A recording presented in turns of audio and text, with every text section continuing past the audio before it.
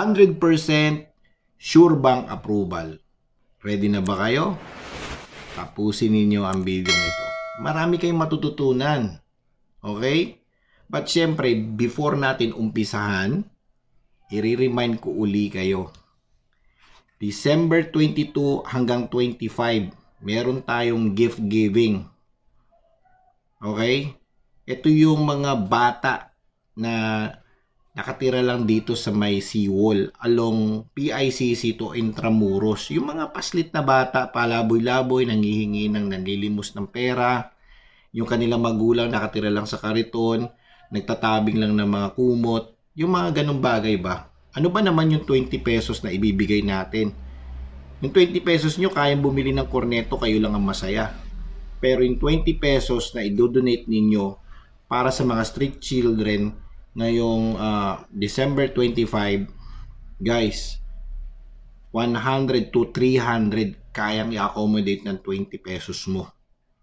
And mind you, hindi lang toys, may food pa gaya ng pansit, may tinapay, may drinks, and even yung Viva Hot Babes na si Miss Maui Taylor mag-o-offer ng 50 packs of food pack.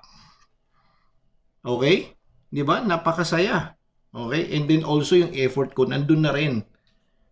Because all these things is credit to you. Kayo ang bumubuo ng Dakar Loan Expert. Ano ba naman yung makatulong tayo for only 20 pesos, 'di ba? Anyway, yung GCash account or number, ito po. 0966-456-8583. Uulitin ko ulit. 0966-456-8583. And then, screenshot ninyo kung kayo ay nag-donate. Okay, i-acknowledge po natin and babasahin natin. Ipopost ko po sa Facebook.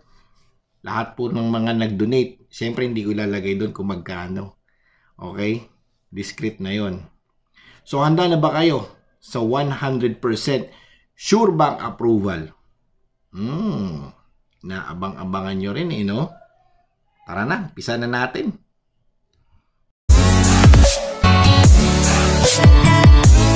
Mga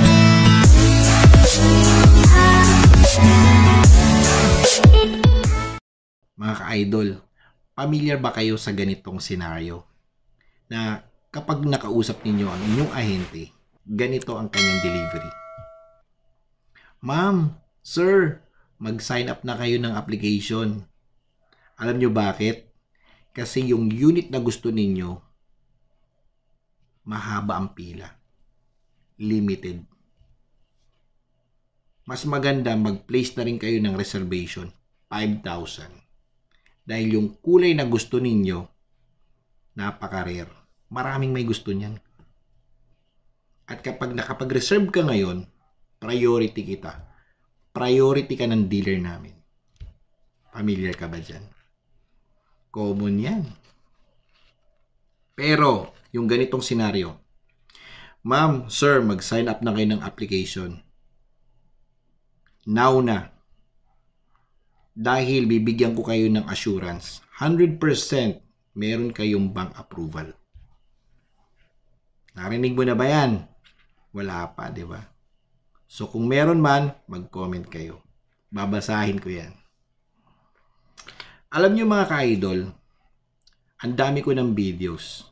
Paulit-ulit ninyong pinanonood ang aking mga videos. Hinihimay ninyo ang bawat words na sinasabi ko. But, alam ko ang nasa isip ninyo. Isa lang ang gusto ninyong malaman ang malaman kung papaano makuha ang 100% sure approval. Meron nga ba? Ako na magsasabi sa inyo. Meron. Okay? But, only through me. Okay? You can have my advice through comment through uh, communication by using the Facebook Messenger, calling you the phone. But, yung 100% sure approval, makukuha mo lang ito kapag kaharap mo ako. Malaki ang difference. Bakit? Kasi, merong certain angles na kailangan kong malaman. Kailangan kong basahin ang inyong mukha. Ang inyong mga reactions. Kailangan kong maramdaman yan. Dahan-dahan. Kaysa kausap ko kayo over the phone or sa messenger. Kasi, nababibe ko ang inyong inner soul. Okay? So, ito yung mga list, okay? Ito yung mga list. Number one, dapat 100% buying na kayo. Okay? Bakit ko sinabi yan? Kasi kung hindi pa kayo buying, maguguluhan kayo. Hindi ninyo alam kung kailan kayo bibili. Ngayon ba? Next month ba? Sa susunod ba na taon? At tapusin ninyo ang transaction ninyo sa ibang dealer. Kung may kausap kayo bukod sa the car loan expert o si George, tapusin ninyo ang kausap ninyo sa kabila. Bakit? Kasi maguguluhan kayo. Hindi ninyo alam kung sino ang papanigan ninyo, sino ang pakikinggan ninyo, sino ang paniniwalaan ninyo. 'Di ba? Okay, tama ba ako? Tama, 'di ba? Number two, dapat committed kayo. 100% committed kayo. Kasi kung hindi kayo committed, malamang aayawan din kayo ng sasakyan na gusto ninyong bilhin. Kasi meron yan law of attraction eh. Di ba? Number three, uh, honest. Dapat honest kayo. Pag tinat- tinatanong ko kayo, dapat sabihin ninyo kung ano yung mga bagay na kailangan kong malaman. O kung may tinatago man kayo, sabihin nyo na. Para madali ko kagad ma-resolve yung problema. Okay? Masolusyonan ko na kagad. Okay? And then number uh, four, cooperation. Okay? Dapat makipag-cooperate kayo. Kung ano yung hinihingi ko sa inyo, ibigay ninyo. Okay? Hindi yung nakipag-cooperate kayo pero hindi nyo pa rin ginawa. Okay? Yun yung nangyayari na in the middle of the game, bigla tayong na-stop. Okay? Number five, yung willingness to pay. Guys, ito yung common problem ng mga ahente na pagkausap mo, ang dami nyo nang napagkasunduan, in good terms na kayo pare-pareho, may napag-usapan na kayo ng uh, mode of payment, kung ano yung mga pinamigay ninyo, kailan yung araw na yon and then ang dulo, kailangan kong i-consult kay Mrs. Kailangan ko munang alamin kay Mrs. Kailangan namin pag-usapan. So, ito yung medyo nalulubak ang mga customers. Okay?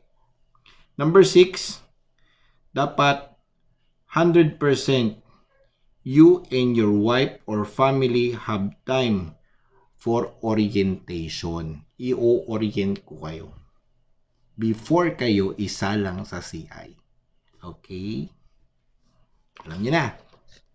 Number 7, dapat 100% may trust kayo kay George. Kasi kung wala kayong trust sa akin, sayang ang oras ko, sayang ang oras mo. Okay? At hindi rin matutuloy ang ating transaksyon. Okay? So, ganun lang mga ka-idol. Madali lang yung ating uh, ating ano dito yung mapapagkasunduan. Kung kayo ay gustong ma-approve, all you have to do all you have to do is makipagkita kayo sa akin. Lalo na kung kayo ay taga Metro Manila. Pero kung kayo ay nasa province, nasa abroad, communication lang. Advice lang ako. Iba kasi yung kumbaga sa doktor, iba yung advice ng verbal, iba yung actual. Kasi yung actual, iba ang talent fee. Wala akong bayad ha. Ibig sabihin, kumbaga sa iba yan, iba ang talent fee ng personal ha, kaysa verbal. Okay? Wala akong bayad. Pero syempre, mag exert ako ng effort para sa inyo. Dahil kailangan ninyo eh, di ba? Yan ang commitment natin eh. Okay?